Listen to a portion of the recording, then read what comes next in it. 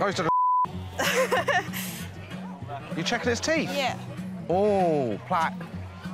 Can we let the sheep go? Let the sheep go? Whoa! He's looking at me. He's going to charge me. You feel that lamb, I'll feel that. Feel this lamb? What are you doing? I'm not reaching under. I don't want to get me tooed by a sheep. You have to check he's got two. I'm not going to shake his gatu. No, check he's got two stones. No, absolutely not doing that. That's sexual assault. the man who kept trying to make me touch up his sheep, I only understood about 40% of what he was saying. I could be in the sheep trailer later, lying sleeping.